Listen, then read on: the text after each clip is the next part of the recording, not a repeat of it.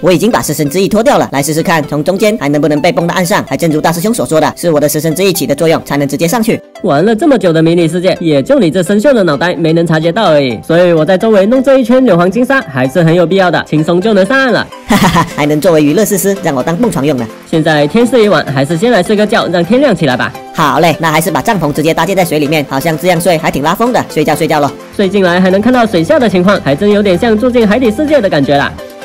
OK，睡饱了就把帐篷拆了。对了，大师兄，咱们的鱼塘都安装了这么多硫磺金沙，要不要也在那边的流沙池底部安装一些呢？试试看能不能也从流沙里面蹦出来啊？可以可以，我也很好奇安放以后会是怎样的效果。我现在已经跳下来安装了，先安装一个试试看喽。哎呀呀，根本蹦不出去啊！一蹦上来又被流沙给吸回去了。我看要么就是你长相的问题，要么就是你技术太菜了。来来来，走开走开，让我来试试看，说不定轻松就上去了呢。哎哎，还真的不行啊！没想到这流沙的吸力这么好的，搞得我现在在这里跳广播体操似的。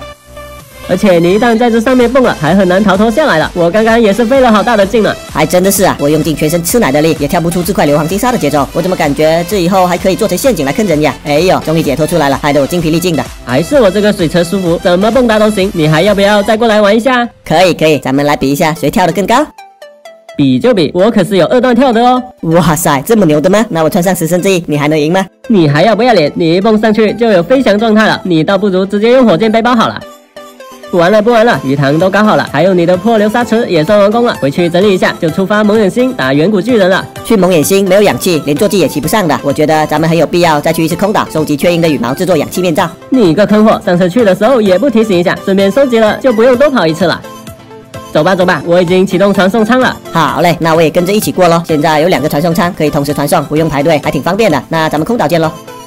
咱们有时被绿掉落，好像随便找几棵核桃树就能收集到足够多的核桃去投喂雀鹰了。对哦，那待会驯服了雀鹰，掉落的羽毛是不是也是十根啊？这个就不敢保证了。你有拿到核桃，这附近不就有雀鹰了吗？直接试试看不就知道了？我是准备来试试看，就是这些家伙好像对我的核桃没啥兴趣的节奏。我猜是嫌弃拿这核桃的人吧？我知道了，是还不够靠近，他们还没有闻到核桃味，这不就来吃了吗？啊，掉落一根羽毛而已。那就老老实实多驯服几只喽，反正核桃有的是，不就是投喂的时候费点时间而已。我骑着帝皇战龙应该会比你有效率吧？好家伙，没有坐骑就是经常要被侮辱一下的节奏。其实我这食神之翼可以飞得比你远多的，就是降落的时候比较麻烦，要慢慢盘旋下降，时间都浪费在这个节点上了。我的各种坐骑可以用在各种地形上，可以有各种用途。你区区一个食神之翼没啥鬼用，终于飞下来了是吧？刚好这个核桃树上的果实挺多的，咱们可以一次性收个够了。好吧，果然一下子核桃就有几十个了，开始大规模驯服雀鹰了。啊，小家伙又飞走了，是你太不行了，吸引不了他们。你看我凭借我的帅气，随随便便就能吸引一只过来了，哈哈，还轻松就驯服了。